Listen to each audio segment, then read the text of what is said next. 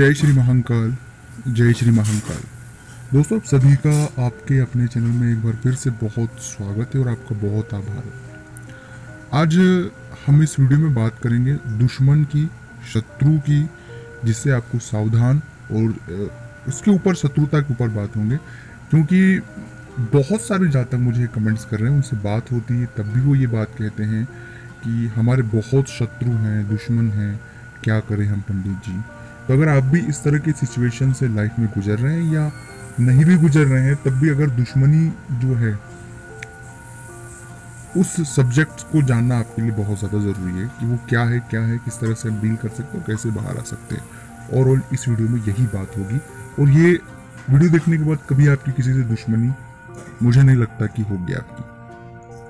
तो सबसे पहले और मुख्य बात है कि अभी तक यदि आपने चैनल को सब्सक्राइब नहीं किया है और चैनल से नहीं जुड़े हैं तो चैनल को आप सब्सक्राइब कर लें, कमेंट्स में लिखे ओम नमः शिवाय। उस वीडियो को ज़रूर लाइक करें, ताकि मुझे अच्छा लगे।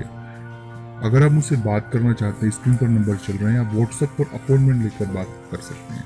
शुल्क लागू है दोस्तों। सबसे पहली बात है कि कभी भी कोई भी व्यक्ति के बीच शत्रुता शुरू जो होती है, वो होती है वाणी की वजह से।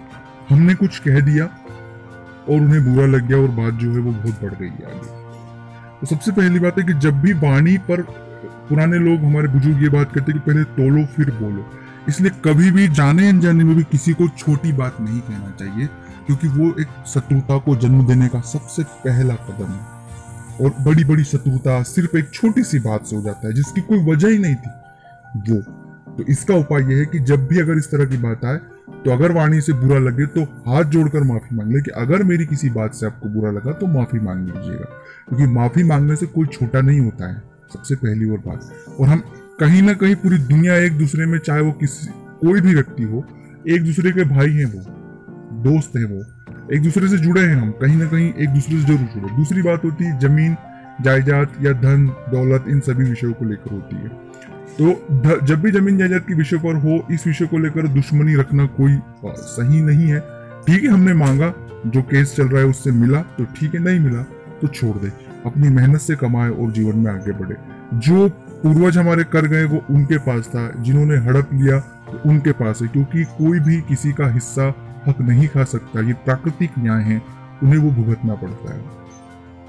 तो अपनी कमाई अपने दोनों हाथों के कर्मों पर ध्यान दें, क्योंकि ज़्यादातर इसी तरह के मामले मुझे दिखते हैं। तीसरी बात है, हमेशा कोई भी पार्टनरशिप कोई भी चीज़ करे, अभी इस युग में तो लिखित तौर पर करे, ताकि दुश्मनी न हो।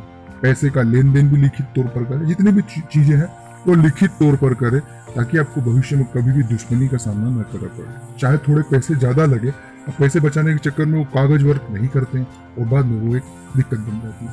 तो इन चीज़ों से बाहर आ सकते हो। आप बजरंग बाण का पाठ करें, आपकी शत्रुता कभी नहीं होगी। तो अच्छा लगा लाइक करें। जय महाकाल